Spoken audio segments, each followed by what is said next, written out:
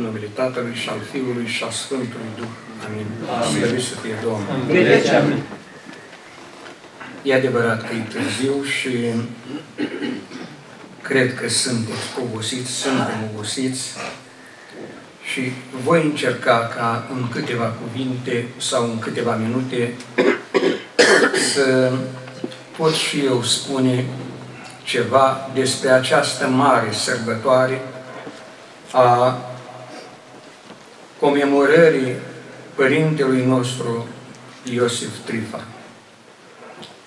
Din Sfintele Scripturi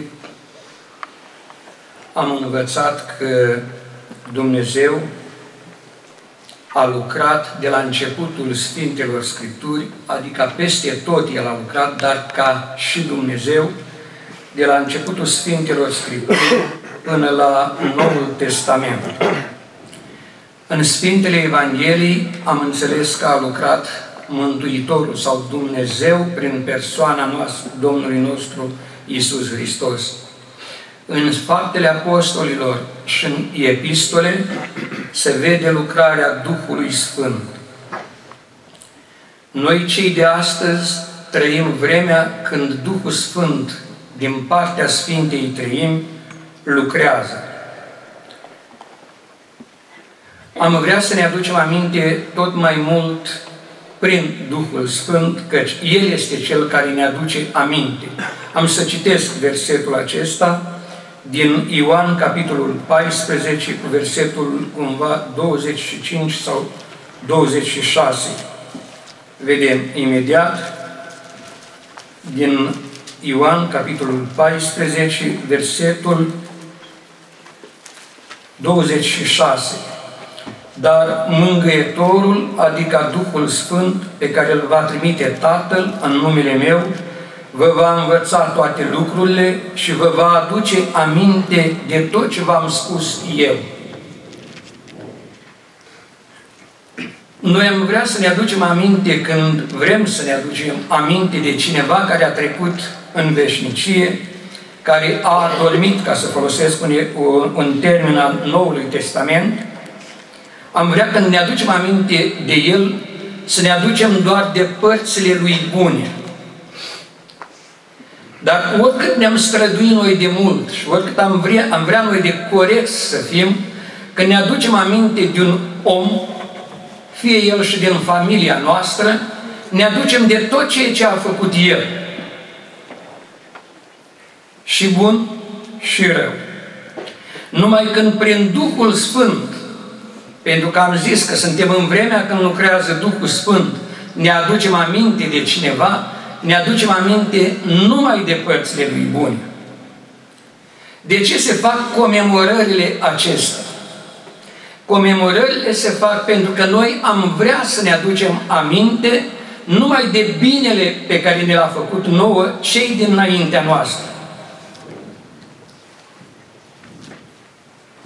Pentru că suntem în timpul când lucrează Duhul Sfânt. El de la început a fost chemat peste adunarea aceasta. Și așa cum am amintit frații, spun și eu, pentru că am simțit la fel, El își face lucrare. Chiar mă, întreb, mă întrebam când surioare dinainte a spus poezia pe care a spus-o ea cu sughițuri, spunând chiar de păcatele pe care le-a făcut. Ce păcate poate să aibă sora aceasta la vârsta aceasta? Dar asta este lucrarea Duhului Sfânt. Când uh, pe timpul Domnului Isus era înconjurat de atâta mulțime, se spune că erau niște copii pe care ucenicii îi certa și dădeau undeva la spatele gloatei ca ei să nu vină. Și Domnul Isus spune, lăsați copiii să vină la mine. Și ia unul din copii și le arată un exemplu. Până când nu veți fi ca acești copilași cu niciun chip, nu veți intra în Împărăția lui Dumnezeu. Așa lucrează Duhul Sfânt. Ce multe am vrea noi să ne aducem aminte în seara aceasta de ceea ce a făcut Părintele. Am folosit cuvântul lui Dumnezeu, cei mai mulți frați dinaintea mea. Au folosit scrierile fratelui Traian. Au folosit scrierile Părintelui Iosif. Am vrea fiecare dintre noi să nu spunem nimic de la noi, ci să ne aducem aminte tot mai mult ceea ce ne-a făcut El. Ei, lucrarea aceasta o face Duhul Sfânt. Și în momentul când o face Duhul Sfânt, spune Sfântul Evanghelist Ioan așa, și am citit versetul acesta, și vă va aduce aminte de tot ce v-am spus eu. Cum putem noi în câteva minute să ne aducem aminte de tot ce ne-a făcut sau ce ne-a spus Părintele Iosif? Dar pentru asta se face comemorarea aceasta. Aș citi, pentru că eu de obicei recunosc în fața fraților că atunci când vin la microfon, nu mă încadrez în timpul respectiv și în seara aceasta aș vrea să o fac. Voi citi câteva versete uh, de la 1 Corinteni sau 2 Corinteni, capitolul 1. Doar câteva versete, pentru că vreau să mă țin de cuvânt. Câteva versete la 2 Corinteni, capitolul 1, în care Sfântul Apostol Pavel spune așa, versetul 3 începând, Binecuvântat să fie Dumnezeu Tatăl Domnului nostru Isus Hristos, Părintele îndurărilor și Dumnezeul oricărei mângâieri, care ne mângâie în toate necazurile noastre, pentru ca prin mângâierea cu care noi înșine suntem mângâiați de Dumnezeu, să putem mângâia pe cei ce se află în vreun necaz. Căci după cum avem parte din belșug de suferințele lui Hristos, tot așa prin Hristos avem parte din belșug și de mângâiere. Așa că dacă suntem în necaz, suntem pentru mângâierea și mântuirea voastră. Dacă suntem mângâiați, suntem pentru mângâierea voastră, care se arată prin faptul că răbdați aceleași suferințe ca și noi.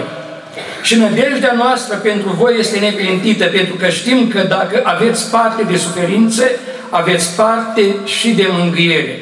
A doua epistolă a Sfântului Apostol Pavel către Corinteni, capitolul 1, versetul 3 până la 7.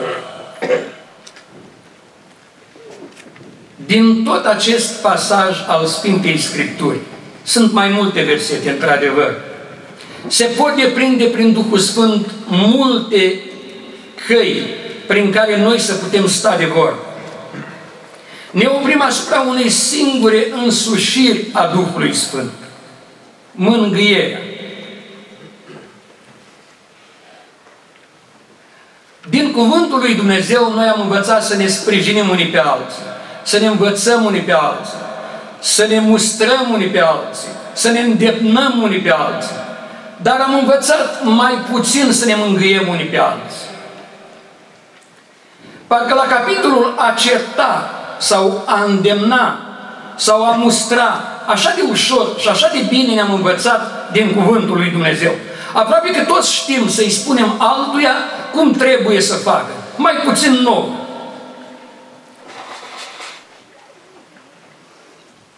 Iar din, pentru sărbătoarea de astăzi, ca o mângâiere, parcă îmi să zic, pentru fiecare din cei care mărturisesc cuvântul față de cei care ascultă, este acest pasaj prin Duhul Sfânt.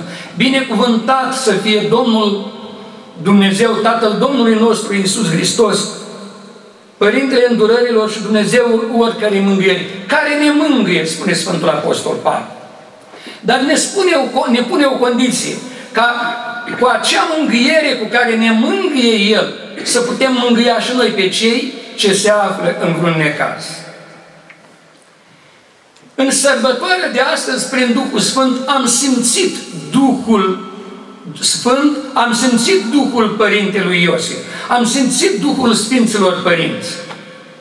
Haideți să ne întoarcem acasă cu gândul acesta. Am mângâiat pe cineva astăzi, în vreun fel, că e un cuvânt, că e o poezie, că e o mărturisire, că e un îndemn. Dar toți avem nevoie de mângâiere.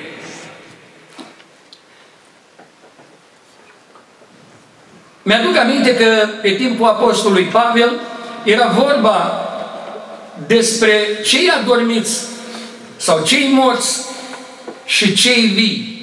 Și se punea problema întâlnirii din nou cu Domnul Isus când va reveni pe norii slavii. 1 Tesaloniceni, capitolul 4. Sfântul Apostol Pavel ține să învețe pe cei din Tesalonic, pe frații din Tesalonic, să nu uite să se simtă, să se mângâie unii pe alții, să se întărească unii pe alții din cei vii, dar să nu uite nici pe cei adormiți. Și atunci cineva pune întrebarea cum se va face totuși învierea aceasta sau întâlnirea aceasta cu Domnul în văzduh. Și explică Sfântul Apostol Pavel, întâi vor învia cei adormiți. Apoi noi cei vii vom fi schimbați, vom fi înălțați în văzduh, în nori și ne vom întâlni cu El acolo. Finalul acestui capitol, ultimul verset din capitolul 4, Sfântul Apostol Pavel, prin Duhul Sfânt, spune așa, mângâiați-vă cu aceste cuvinte. Pentru că puțini oameni din ziua de azi mai înțeleg întâlnirea aceasta între cei vii și cei adormiți. Noi vorbim de Părintele Iosif, de fratele Traian, de fratele Marini, de fratele Moise, de toți frații care au murit înainte de noi sau au adormit înainte de noi. Fiecare dintre noi dorim întâlnirea cu ei în Împărăția lui Dumnezeu. Dar se pune singura condiție. Ca să putem să ne întâlnim cu ei, trebuie să avem o viață cât mai asemănătoare cu a lor. Ei s-au străduit să aibă o viață cât mai asemănătoare cu Domnul Isus și sunt cu Domnul Isus în Împărăția lui Dumnezeu. Noi dorim să fim cu ei și putem fi cu ei. Nu este ceva cu neputință. În schimb, condiția care se pune să avem o viață cât mai asemănătoare cu a lor, ca așa cum am trăit împreună prin Duhul Sfânt și am avut parte de suferințe, de patimile acestea a Domnului Isus. Așa vom avea parte și de mângâierea aceasta. Pentru că este o mângâiere pentru omul credincios să sfârșească și să fie împreună cu cei care au dormit înainte de el. Facă Bunul Dumnezeu ca această comemorare prin Duhul Sfânt a Părintelui Iosif, alături de dorința noastră de a fi împreună cu El, să puie și putința de a împlini tot ce ne-a spus El, așa cum au citit frații din cuvânt și din cărțile Lui și din cărțile, cărțile altor frați, și atunci cu siguranță ne mângâiem cu gândul acesta că putem fi și noi împreună cu ei. Slăvit să fie Domnul!